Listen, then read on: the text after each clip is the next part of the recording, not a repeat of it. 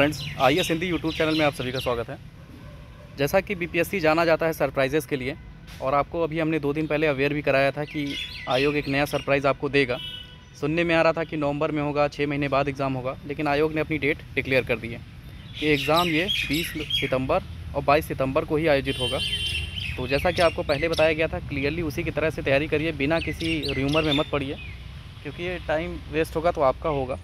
और एग्ज़ाम आपका 20-22 सितंबर को ही होना है, क्योंकि 68 की नोटिफिकेशन आगे लगी हुई है, एग्ज़ाम आगे लगा हुआ है तो बीपीएससी चाह के भी कैंसिल नहीं करेगा।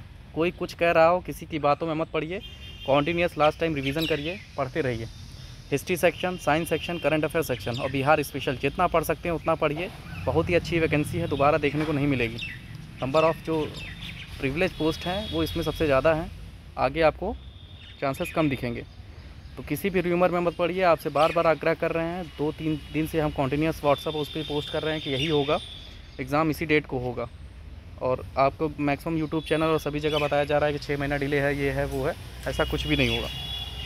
तो उम्मीद है कि आपकी तैयारी अच्छी चल रही होगी और किसी तरह की कोई भी दिक्कत आती है तो आप हमारे WhatsApp number eight eight five three seven triple three eight seven पर कॉन्टैक्ट कर सकते हैं। और पूरा दमखम के साथ लगिए, इससे अच्छा सुनहरा मौका आपको नहीं मिलेगा। Thank you friends keep watching keep sharing